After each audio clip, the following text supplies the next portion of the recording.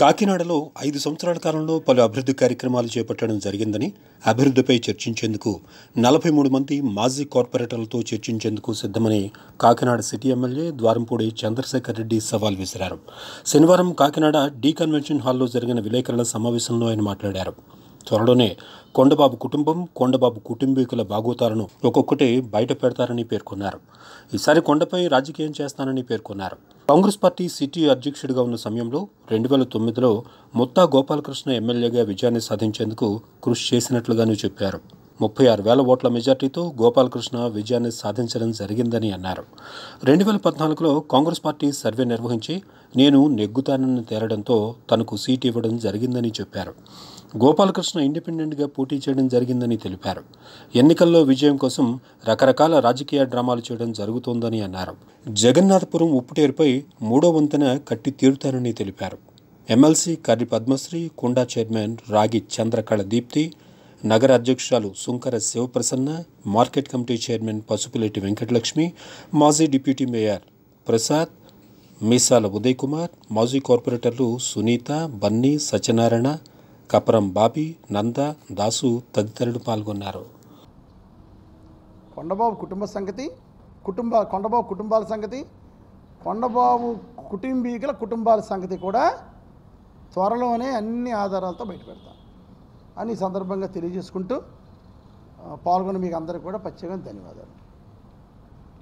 కనక మహాలక్ష్మి గుడి ఉంటే అక్కడ ఎన్టీ రామారావు గారి విగ్రహం అక్కడ పెట్టుంది ఆ విగ్రహాన్ని తీసి కొంచెం పక్క జరుగుతుంటే తెలుగుదేశం పార్టీ వాళ్ళు వచ్చి గొడవ పెట్టడం జరిగింది. ఆ విగ్రహం తీయటం కన్ఫర్మ్. అక్కడ తీసేస్తాను. ఎట్టి రోజులు ఉండదు అక్కడ. తీయటం అంటే పక్క తీ పక్క పక్క జరుగుతాం.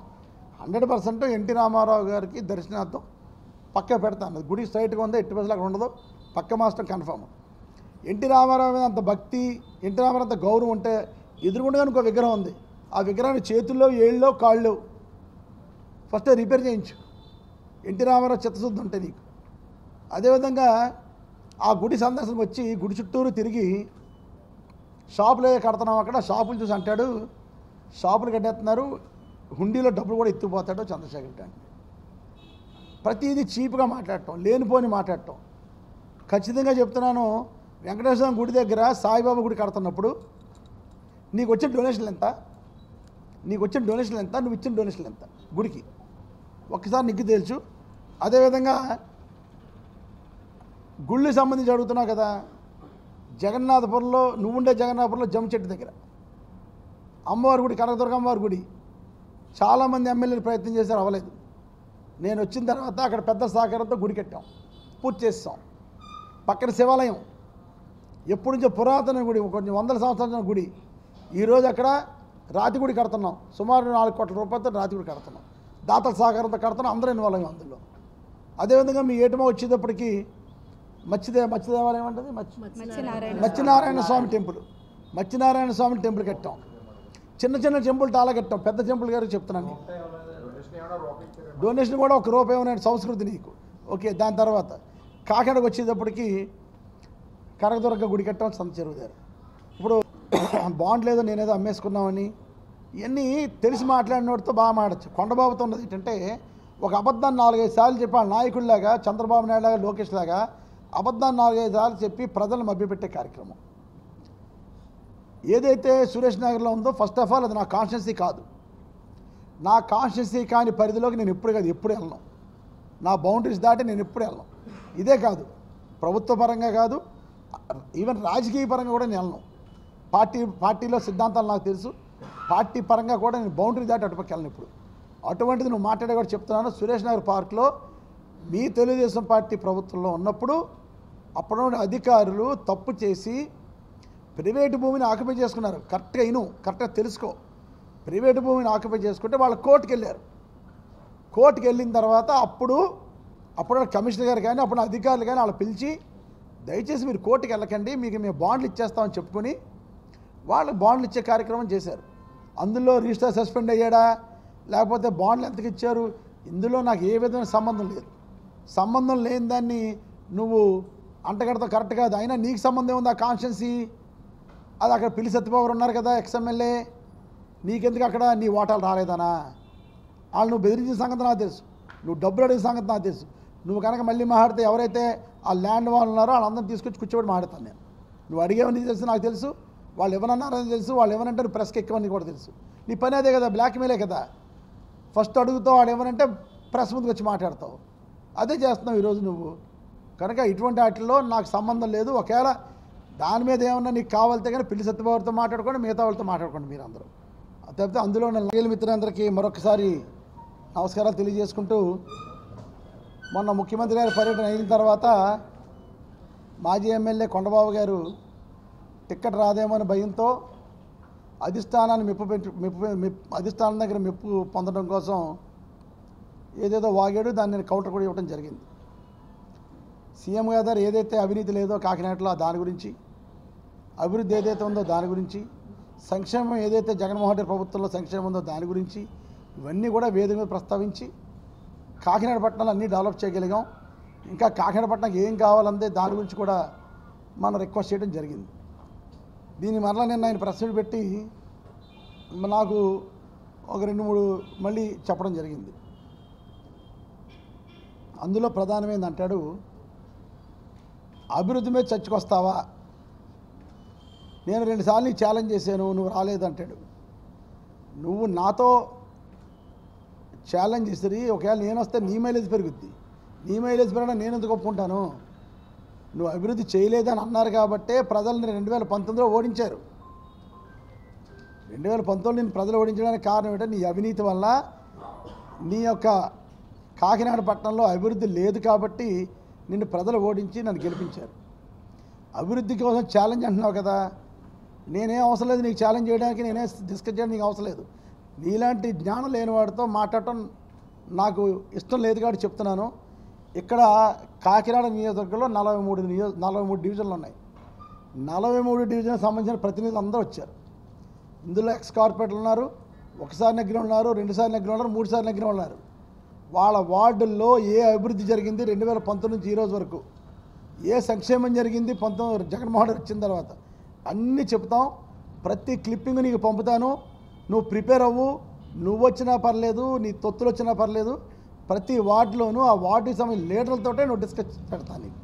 మా వాళ్ళు చాలు నీతో మాట్లాడడానికి. ధైర్యంగా అందరూ ధైర్యంగా ఉన్నారు. అభివృద్ధి చేయగలిగాం కాబట్టి అందరూ ధైర్యంగా ఉండి ఈరోజు ఈ ప్రెస్ మీట్కి నలభై మూడు డివిజన్ నుంచి కూడా విత్ ఇన్ షార్ట్ టైంలో నలభై మూడు డివిజన్ నుంచి ప్రతినిధులు వచ్చారు. అందరూ కూడా ఆల్మోస్ట్ అందరూ ఎక్స్ కార్పొరేటర్లు వచ్చారు.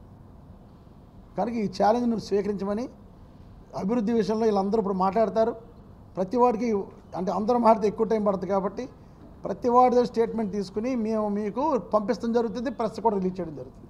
ఒక గంట గంటన్నర గ్యాప్లో అందరి స్టేట్మెంట్లు మీకు ఇవ్వడం జరుగుతుంది. అదేవిధంగా చెప్తాడు నా పక్కన వాళ్ళందరూ చాలా ప్రతిభతలు నా క్యాడర్ అంతా చాలా ప్రతిభతలు అని చెప్తాడు. నేను నీ పక్కన కూర్చున్న వాడిని నీతో నీ ప్రభుత్వం పక్కన వేసినవాడు ఆ జైల్లో వేసినవాడు నువ్వు. సో నువ్వు అతని గురించి మాట్లాడేస్తున్నావు. నీ నీ యొక్క నీ యొక్క లీడర్లనట నేను ఇది మభ్య పెట్టేసి లాగేసుకోవడానికి ట్రై చేస్తున్నాను నాకు అవసరం లేదురా బాబు నీ దగ్గర ఉన్న- మీ దగ్గర స్క్రాప్ అనే మీ అందరూ వదిలేసాం. నా దగ్గర రావడానికి వాళ్ళందరూ సందిగ్ధ నా నా దగ్గర రావడానికి వాళ్ళు ఇష్టపడ్డారు. మా ఇంటికి వచ్చారు. మా ఇంట్లో నా నాతో పాటు ఫోటోలు ఉన్నాయి నా దగ్గర. నేనే వద్దని దూరం పెట్టాను వాళ్ళందరినీ కూడా. ఇంతగా అందులో అక్కడ ఉన్న వాళ్ళందరూ భూ కబ్జాదారులు లంచగొండి వాళ్ళు ఇటువంటి వాళ్ళందరూ నీ దగ్గర ఉన్నారు కాబట్టి నేను తీసుకోలేదు వాళ్ళు ఎవరిని కూడా. కనుక నీ దగ్గర ఉన్న వాళ్ళు పెద్ద పెద్దోళ్ళు నువ్వు భావించవచ్చు కానీ నా దృష్టిలో చాలా చిన్నోళ్ళు. కనుక నువ్వు ఆ విషయంలో గుర్తించుకో నాకు ఎవరిని మభ్యపెట్టే పని లేదు. కనుక నా నేనంటే ఇష్టం వాళ్ళు అందరూ నాతో ఉన్నారు. నేనంటే నా గెలుపు కోసం కష్టపడే వాళ్ళు అందరూ ఉన్నారు. అదేవిధంగా గతంలో ఎప్పుడన్నా చూసుకో. కాకినాడ కౌన్సిల్లో ఎప్పుడన్నా ఎవడన్నా నీతో ఉన్నాడా? ఒక్క కౌన్సిలర్ కానీ ఒక కార్పొరేటర్ కానీ నీతో లేడే. పోనీ ఎవరికన్నా ఒక్క పదవి వేయించావా? పార్టీ పదవి వేయించలేదు. గవర్నమెంట్ నామినేటెడ్ పదవి వేయించలేదు. ఇంకా నువ్వు ప్రజాప్రతినిధి పెట్టి నిన్ను నమ్ముకునే వాళ్ళు నువ్వు ఏ న్యాయం చేస్తున్నావు? నేను గర్వంగా ఉన్నాను. ఈరోజు ఇక్కడి నుంచి అందరూ కూడా గర్వంగా ఉండే గర్వంగా ఉండేలాగా చేశాను నేను అంతా కూడా. కష్టపడ్డారు. ప్రజల్లో పేరు ఉంది కాబట్టి అందరికీ కూడా పేరు వచ్చే కార్యక్రమాన్ని నేను చేయడం జరిగింది. అదేవిధంగా నేను జగన్మోహన్ గారితో లేను. రెండు వేల పంత రెండు వేల తొమ్మిదిలో నేను గెలిచినప్పుడు నేనేదో జగన్ గారితో పాటు లేనని చెప్పి చెప్పడం జరిగింది. ఒరే బాబు తెలుసుకో నేను ఎనిమిది నెలల క్రితమే నా పదవిని పోగొట్టుకున్నాను. రెండు వేల తొమ్మిది నుంచి రెండు వేల పద్నాలుగు ఐదు సంవత్సరాల పీరియడ్లో నా పదవిని ఆల్మోస్ట్ ఆల్ తొమ్మిది నెలల ముందే నా పదవిని పోగొట్టుకున్నాను నేను. కిరణ్ కుమార్ మీద అవిశ్వాస తీర్మానం పెడితే అవిశ్వాస తీర్మానంలో ఆ రోజు చాలామంది ఎమ్మెల్యేలు సస్పెండ్ అయినాడు నేను ఒకడిని నాకు ఐదు సంవత్సరాల పీరియడ్ నేను చేయలేదు ఎమ్మెల్యేగా. తొమ్మిది నెలలు తక్కువ చేసిన జరిగింది. కానీ నువ్వు నన్ను జగన్మోహన్ రెడ్డితో లేవని జగన్మోహన్ రెడ్డితో మోసం చేశారు నువ్వు అనే అవసరం లేదు. జగన్మోహన్ రెడ్డి గారు నాకున్న బౌండింగ్ నాకు తెలుసు. మీ ఇద్దరు ఎంత ఆప్యాయంగా ఉంటారో తెలుసు. ఎంత ఇష్టపూర్వకంగా ఉంటామో అందరికీ తెలిసిందే. ఒక్క విషయం ఖచ్చితంగా అడుగుతున్నా రాజకీయాల నిన్న మాట్లాడే కాబట్టి చెప్తున్నాను.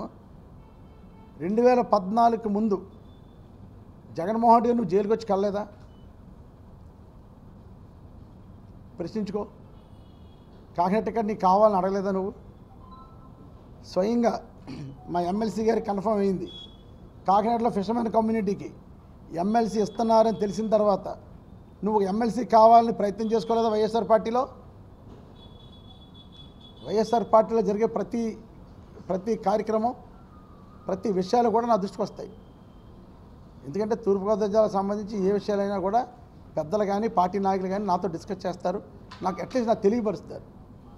కనుక నువ్వు ఎమ్మెల్సీ కాకినాడ కాకినాడలో ఫిషర్మెన్ కమిటీ ఇస్తారని తెలిసిన తర్వాత నువ్వు ప్రయత్నం చేసుకోలేదా? కనుక రాజకీయాల్లో కొన్ని గుట్లు ఉంటాయి కొన్ని రహస్యాలు ఉంటాయి అన్నీ బయట చెప్పకూడదు. కానీ నువ్వు ఇప్పుతున్నావు కాబట్టి ఒకటి నేను చెప్పాలని నిర్ణయించుకుని ఈ విషయాలు చెప్తున్నాను. అదేవిధంగా ఏదైతే జగన్నాపురం మూడో బ్రిడ్జ్ ఉందో ఏదైతే జగన్నాపురం మూడో బ్రిడ్జు అలైన్మెంట్ ద్వారా ఎవరు ఎక్వేషన్ చేసుకున్నా కూడా డబ్బులు అవుతాయని అంటున్నాడు. అవసరం లేదు. నూట పదహారు కోట్ల బ్రిడ్జికి ముప్పై ఐదు కోట్ల రూపాయలు బ్రిడ్జికి అయితే మిగతా దగ్గర దగ్గరగా ఎనభై లక్షల ఎనభై కోట్ల రూపాయలు ఎక్విషన్ కోసం అవుతుంది. నేనేమంటున్నాను? ఎక్విషన్ డబ్బు లేకుండా ఆ బ్రిడ్జికి ముప్పై ఐదు లక్షల రూపాయలతోటి ఏటమొగ ఏదైతే ఉందో వెనకాల ప్రాంతం నుంచి ప్రభుత్వ భూముల నుంచి వెళ్ళిపోయేలా చేస్తున్నారు. ఒక్క రూపాయి కూడా ఎక్విషన్కి అయ్యే ఖర్చు లేదు. నేను చెప్తుంది అది. తప్పకుండా అలైన్మెంట్ మారుస్తాను. జగన్నాపురం మూడో బ్రిడ్జ్ తీసుకొస్తాను. ఎక్విషన్ నిమిత్తం ఒక రూపాయి ఖర్చు పెట్టను.